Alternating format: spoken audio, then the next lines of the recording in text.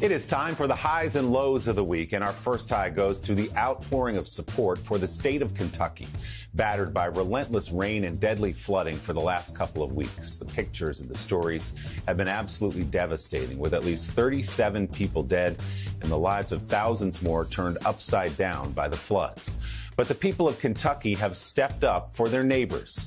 Basketball is king in the state, and the beloved Cats, with some help from their big blue nation of fans, are lending a big hand.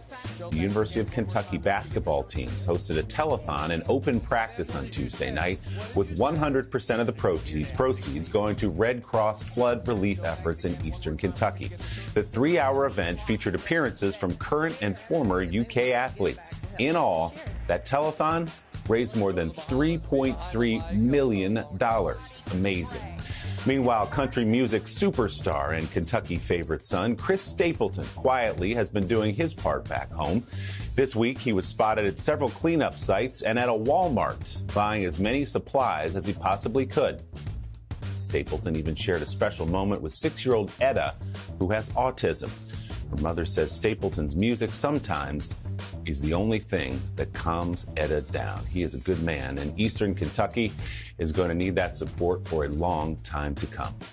Our first low goes to the heart stopping close call for one daredevil in Spain.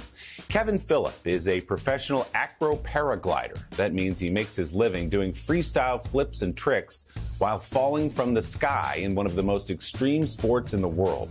On a recent turbulent day, Philipp's chute did not open after his lines tangled mid flip and he got twisted up in the wing, quickly increasing his speed as he hurtled toward the ground. Harrowing video of the incident shot from a 30, 360 degree camera and his helmet and on the ground shows Philipp frantically trying to gain control of that tangled mess. With seconds to spare, he makes one last desperate reach for a rescue parachute, which deploys just in time. Philipp told NBC News, despite what we saw in that dramatic video, he was, quote, surprisingly calm. Well, I'm glad Kevin was calm because the rest of us are a mess over here. Glad he's okay. Our final low goes to the frustrating lack of beauty products based on the wing sauces of popular restaurant chains. Well, Applebee's finally is doing something about it.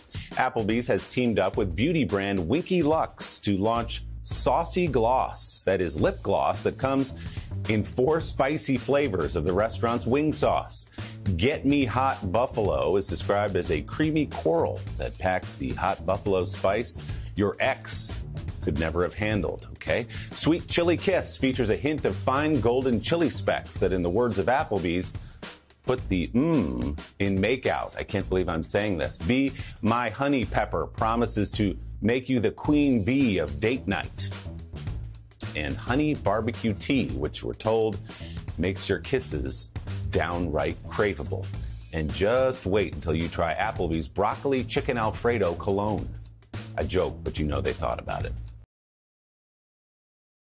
Hey, thanks for watching our YouTube channel. Find your favorite recipes, celebrity interviews, uplifting stories, shop our favorite deals, and so much more with the Today app. Download it now.